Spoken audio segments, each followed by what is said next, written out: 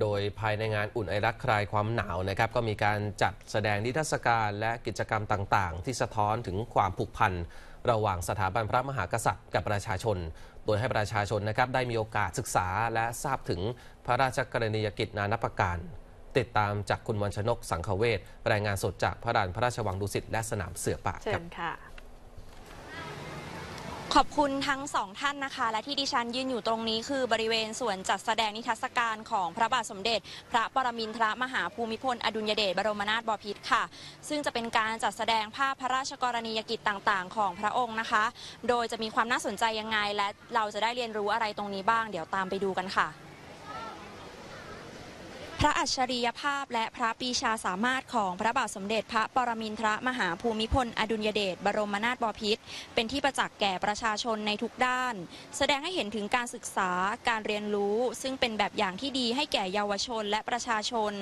ซึ่งภายในงานอุ่นไอรักคลายความหนาวได้มีการรวบรวมภาพพระราชกรณียกิจต่าง ๆ ของพระองค์ ที่ทรงปฏิบัติเพื่อพัฒนาความเป็นอยู่ของประสบกนิกรทั่วทุกหมู่เหล่าให้มีคุณภาพชีวิตที่ดี อาทิ 70ปีทรงงานทั่วทุกภูมิภาค ที่รวบรวมภาพพระราชกรณียกิจที่ในหลวงรัชกาลที่ 9 ทรงปฏิบัติในพื้นที่ต่างๆ ทั่วประเทศ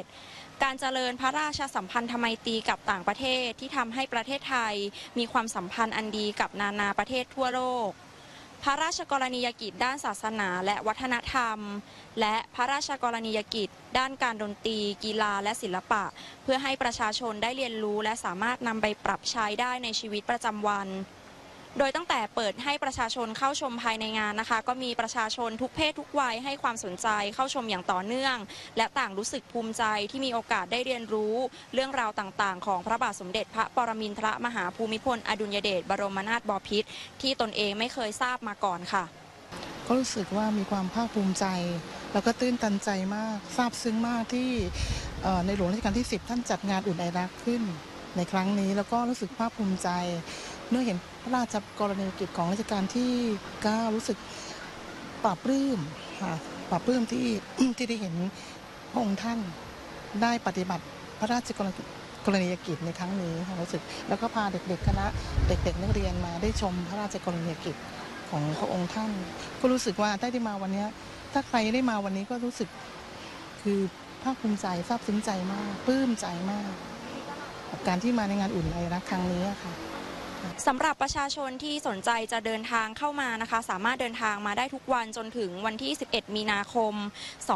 2561 ตั้งแต่เวลา 10 นาฬิกา 30 นาทีถึงเวลา 21 นาฬิกาค่ะ แต่สำหรับในวันศุกร์และวันเสาร์นะคะ จะเปิดถึงเวลา 22 นาฬิกา โดยมีเจ้าหน้าที่ทุกภาคส่วนคอยอำนวยความสะดวก และมีบริการรถเฉพาะกิจ และรถ shuttle bus รับส่งตามเส้นทางต่างๆ เพื่อรองรับประชาชนด้วยค่ะ